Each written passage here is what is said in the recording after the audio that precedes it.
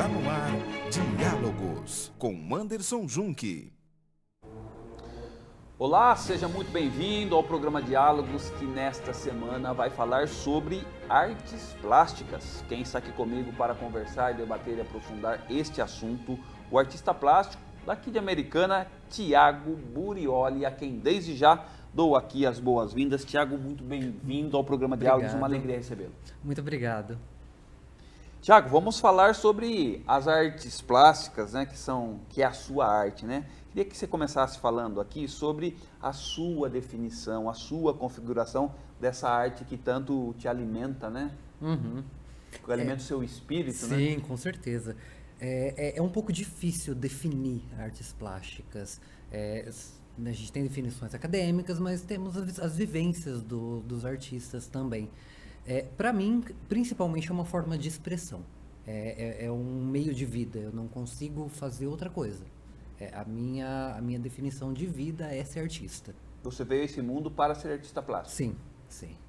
É, é, é uma coisa inerente minha. É muito natural desde criança. Eu, eu desenho, eu, eu trabalho com. Brin, brincava com ferramentas. Minha mãe me dava. Me deu uma caixa de ferramentas para brincar com dois anos de idade, né? Acho que eu não tinha como ir para outro caminho. Que legal, que legal. E me diga uma coisa, hoje, é, quando a gente fala, por exemplo, de artes plásticas, né, eu queria muito que se você fizesse, por exemplo, uma fala aqui, colocando assim, avaliação é, é, da obra de arte. Como é que a gente avalia, o, o Tiago, uma obra, uma artes plásticas, né?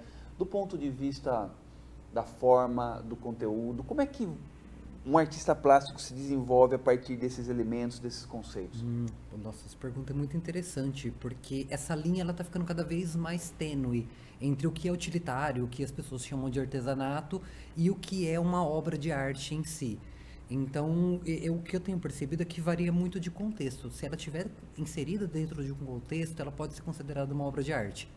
É, é definir o que é arte, o que não é arte, é, eu acho que não, não é produtivo.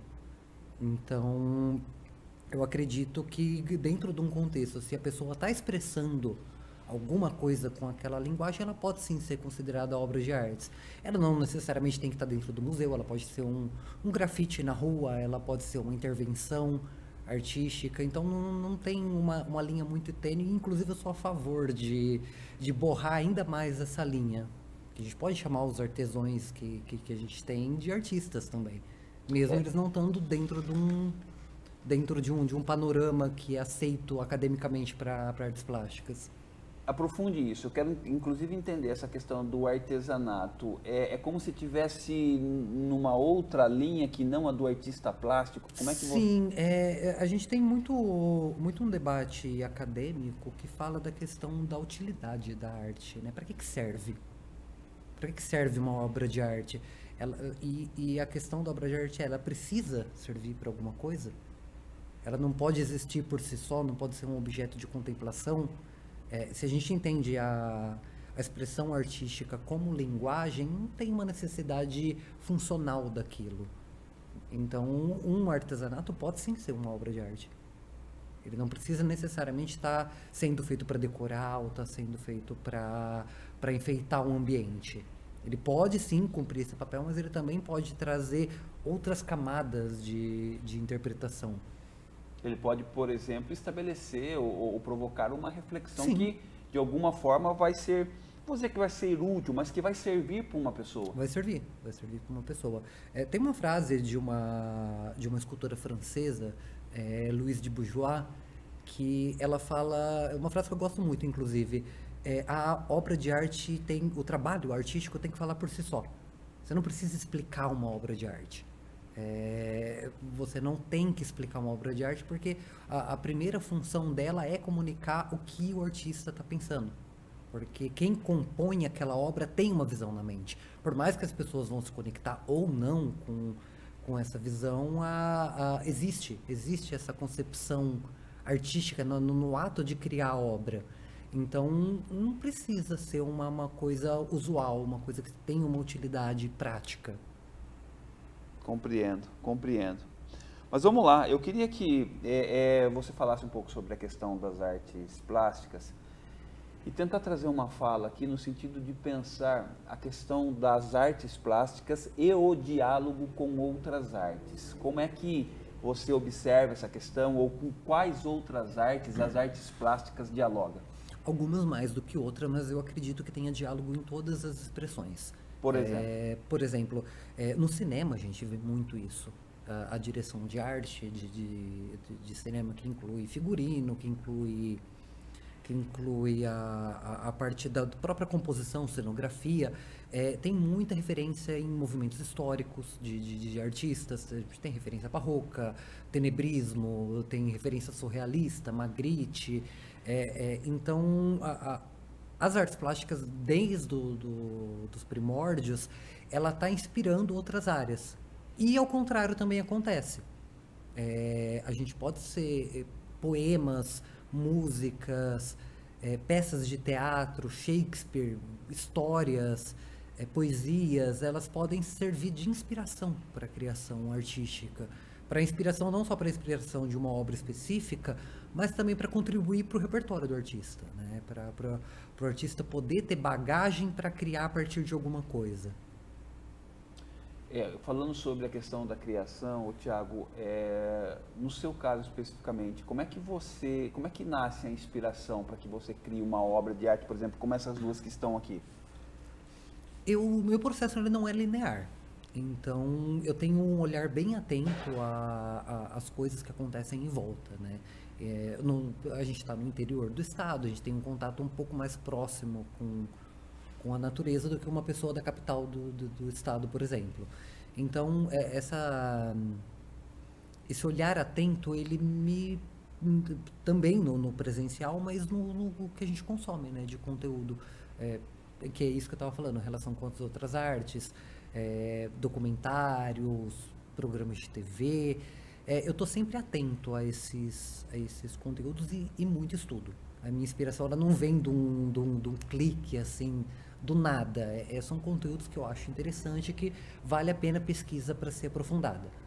Então eu escolho, basicamente eu escolho um tema e eu vou trabalhando. É um processo, eu, eu diria que não é nenhuma inspiração, é um processo de lapidação.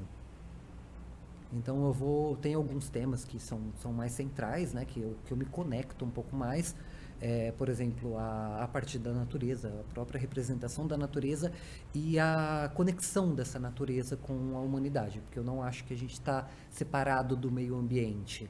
Nós somos parte dele. Parte integrante dele e que somos afetados diretamente. E é uma das coisas que, eu, que, eu, que é o meu trabalho principal, né? A, minha temática principal é essa, essa conexão da natureza com a figura humana. Tá, e, fale mais sobre essa questão. É, eu trabalho principalmente com, com elementos da natureza, só que eu transmuto esses elementos, eu incorporo eles como pessoas, como personagens. Então eu tenho, por exemplo, um tema de uma árvore, um animal, um, um minério. Então eu transformo esse elemento, eu, eu penso sobre esse elemento, eu vou pesquisar sobre esse elemento para poder traduzir ele. Então essa tradução ela vai dar por expressão corporal, expressão facial, os elementos que eu uso nas minhas obras. Então tudo é com uma pesquisa, um processo longo de lapidação. Alguns processos meus têm obras que eu tenho guardadas há mais de um ano que eu não produzi ainda, que, eu desenho as ideias antes de antes de partir para a escultura. Então é, é, eu guardo isso, eu vou lapidando ao longo de muito tempo para poder chegar e realmente a hora que eu acho que está pronto, que está tá coerente com um elemento, coerente com, com a minha trajetória como artista, que aí sim eu parto para a escultura. Tiago, deixa eu é, tentar traduzir isso que você está falando nas suas obras. Talvez venha daí essa ideia dos galhos terem rostos e... Sim, é isso? ou do rosto ter galho, é, é bem, bem sutil, assim, essas transições nas minhas obras. Eu gosto sempre de integrar tudo. E como é que o público lê a tua, a tua obra? Dos feedbacks, eu tenho feedback muito variados, né? Então, tem pessoas que têm medo, é, isso é uma questão da, da, da, escultura, né? Porque a escultura, ela ocupa o mesmo espaço físico que a gente. Diferente de uma pintura que você está olhando como se fosse uma, uma janela no, na parede, a escultura, ela tem essa coisa material, essa coisa que ocupa o mesmo espaço. Então, algumas pessoas têm essa questão do medo mesmo, do, do estranhamento, né? É, E outras pessoas se conectam de jeitos assim. Que eu, já, eu, já, eu tenho uma peça minha que ela não tem rosto, ela é um escavado no rosto dela e é cheio de cristal por dentro, representando um geodo, né, que é uma pedra, é uma formação geológica que ela um, um oco forrado de cristal. Uma uma pessoa uma vez ela veio me dar um feedback falando que essa obra deixava ela extremamente angustiada por não por não ter nariz e a sensação dela era que ela não conseguia respirar. Era uma coisa sufocante para ela. É, e eu gosto muito desse, desse feedback, porque a gente produz, a gente elabora as peças, mas a gente não tem como prever como as pessoas vão reagir. Porque cada pessoa tem a sua bagagem, né? Sim. É, ela já vem com uma história, é importante representar isso. Por isso que eu também não coloco tanta história, não trabalho tanto a narrativa da, dos meus personagens. Eu não crio uma história para as minhas obras. Eu deixo as pessoas virem e sentir o que elas tiverem que sentir das obras. Que interessante. Eu quero, bom, é, falar um pouquinho aqui sobre a, a, o seu projeto, né, o Strig, o Formas, que é uma celebração das corujas brasileiras. É, de onde veio essa inspiração, Tiago?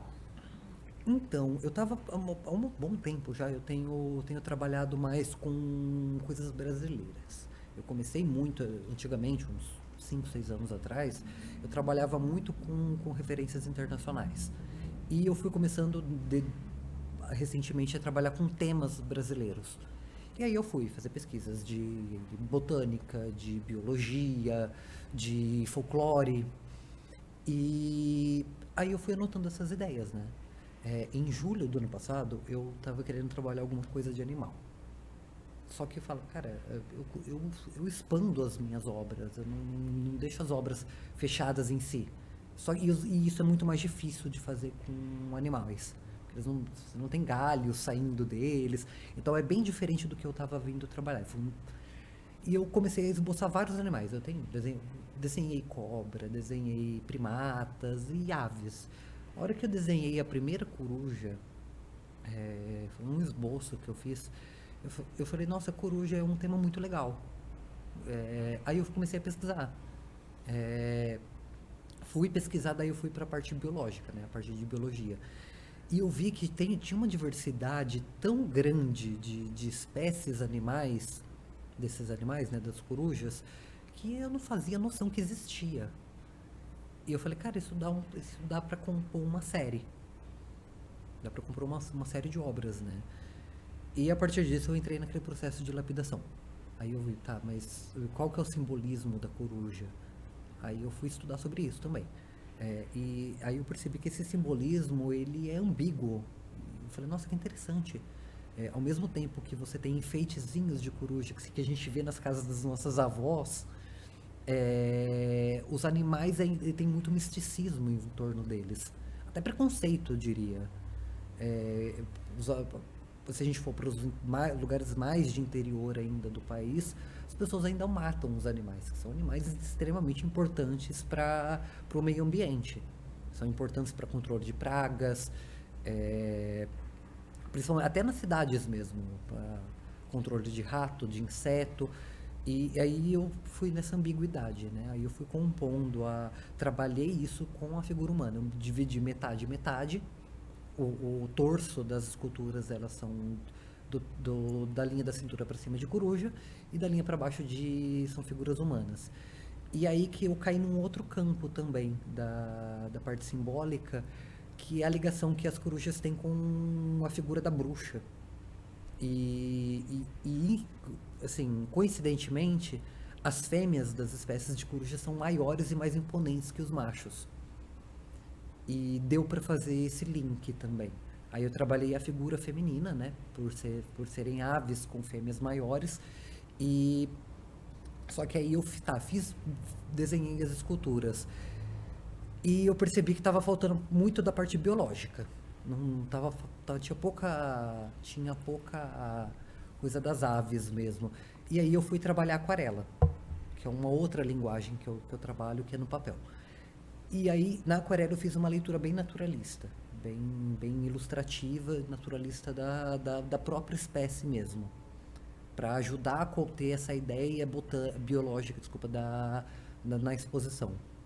E aí, antes da antes de sair o edital da, da prefeitura da Lei Paulo Gustavo, que foi onde esse projeto foi executado, eu já estava com o projeto pronto. Coisa de três meses antes, eu já estava com a ideia toda pronta e eu adequei só para os espaços expositivos daqui de Americana. Legal, maravilha. Bom, nós estamos conversando aqui sobre artes plásticas com o Tiago Borioli, que é artista plástico aqui da cidade de Americana. Nós vamos agora para o nosso intervalo comercial. A gente volta na sequência, um minuto só, e nós já estamos de volta. Estamos apresentando Diálogos com Anderson Junque. Varenga propõe uma reflexão sobre o processo de aprendizagem de crianças e adolescentes à luz da educação sociocomunitária. A reflexão se concentra na experiência da metodologia ludocriativa como um instrumento de humanização das relações. Adquira já o seu agora mesmo através do WhatsApp 34 99798 3521. Fale com seu cliente de forma rápida e efetiva. Com um vídeo institucional bem produzido, você vai apresentar sua empresa e seus negócios em poucos segundos. Atendemos indústrias, prestação de serviços, profissionais liberais e eventos. Entre em contato agora mesmo e faça o seu orçamento. Azon Comunicação, solução em vídeos institucionais. Coloque sua empresa no centro de atenção dos principais empresários da região. Venha para o Jantar dos Empresários da CISB, um evento que já atraiu mais de 1.700 empreendedores. Uma oportunidade única de gerar negócios, parcerias e networking. Faça sua reserva. Jantar dos Empresários da CISB, celebrando a união empresarial. Estamos apresentando Diálogos com Anderson Junque.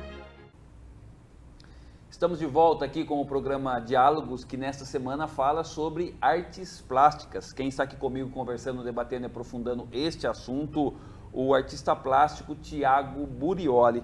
Ô Tiago, é, eu queria que você fizesse uma relação sobre essa sua obra, estabelecendo um diálogo sobre aquilo que você estava falando no primeiro bloco em relação à questão da figura da coruja, né, que tem um, um símbolo relacionado ao conhecimento, à sabedoria. Como esses elementos todos, de alguma, de alguma forma, eles contribuem e efetivamente estão inseridos né, nesse seu projeto? Então, é, esse simbolismo da sabedoria, ele vem principalmente da cultura greco-romana. É, Atena barra Minerva, que é a deusa da sabedoria na cultura romana, o símbolo dela é uma coruja. Inclusive, dentro das espécies, tem uma coruja buraqueira, que é, que gente, é mais comum aqui na, na região da cidade, e, ela é encontrada em muitas cidades no Brasil inteiro. O nome científico dela é Atene, em referência a essa, essa coruja. É, eu trabalhei é, esse, esse simbolismo trazendo a imponência da, no, no gesto da escultura, na, na pose dela. E, e, aí eu trabalhei essa imponência para justamente ressaltar essas simbologias positivas e não trazer tanto essa parte mais sombria da, da noite da coruja, né? Que legal, que legal.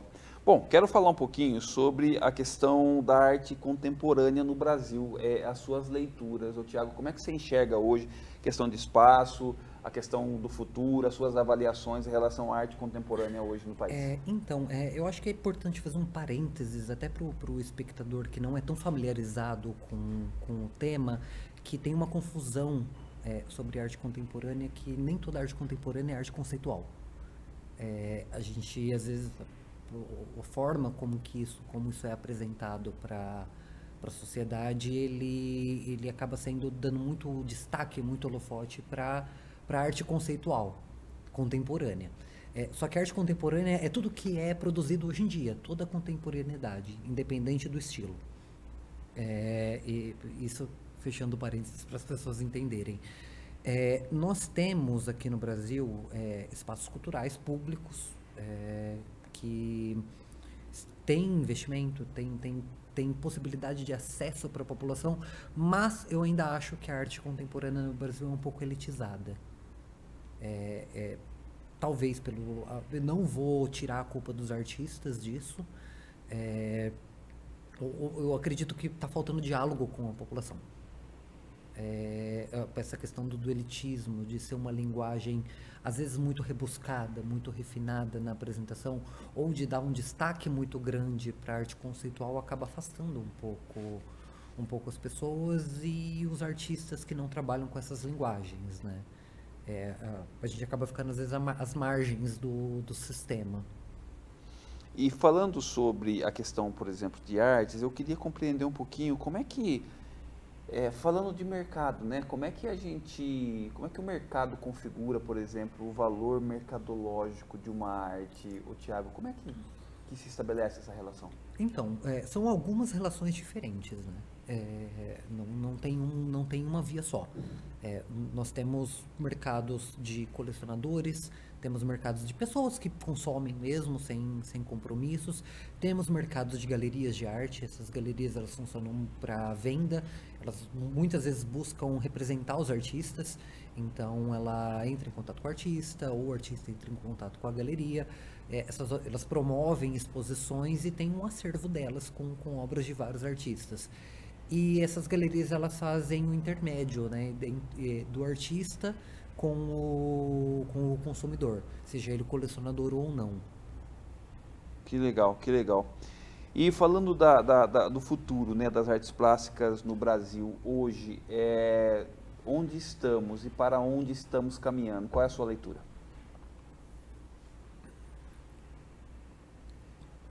Eu acredito que tem potencial para melhorar. É, não, não estamos ruins, nós temos nomes excelentes da, da, arte, da arte brasileira, até no mundo afora. Bienal de Veneza teve um pavilhão enorme de, de artistas brasileiros, inclusive o, o curador, né, que é quem, quem monta as exposições, quem faz a parte conceitual da, dessas exposições, principalmente coletivas, o curador da Bienal era, um, era brasileiro. É, de, Bienal de Veneza é o maior evento de arte mundial. É, então nós temos nomes excelentes, assim, de, de Adriana Varejão, é, que é um exemplo, né? Ela tem um trabalho muito legal com, com azulejos e carne, ela mescla a textura de carne com, com muros. É, e, e, assim, mas eu acho que ainda tem espaço para melhorar, principalmente garantindo acesso a novas produções, a pessoas que não que talvez estejam no começo de carreira, que tenha potencial para poder, eu acredito que a gente pode melhorar o investimento na, nessa parte. Legal. E falando sobre referências hoje, é, eu sei que você citou aqui alguns, mas quais são os que mais contribuem com a tua arte, Thiago? É, então, referência de artista, tem algumas, mas não só de artistas. Né? É, não consumo só conteúdo de arte. É, eu, de, de artistas, tem a escultora francesa Virginie Ropars, é, e Ellen Jewett, que é canadense, é, e lógico os movimentos históricos, né, os grandes mestres me, me influenciam bastante, principalmente o, a Renascença e o maneirismo. É, Botticelli, tem Caravaggio, é, tem uma referência, mas eu não costumo me ater tanto a essas referências. Eu gosto de por caminhos meus, assim. não gosto de, de usar tanto essa referência. Entendi, eu sei. Gosto de, eu, eu uso para poder ter repertório, mas eu, eu ainda prefiro trilhar um caminho mais encontrando autoral, autoral e usando de referências do, do, meio natural, referências de outros conteúdos que não sejam necessariamente conteúdos artísticos. Você, ah, ok, eu entendi. Você busca referências que não necessariamente estão na arte ou que alguém já produziu Isso, ou que estabeleceu exatamente. uma certa conexão. Você busca, de repente, inclusive, referências na própria natureza. Isso, é nessa perspectiva? Isso, isso. Que legal, que legal. Ah, bacana.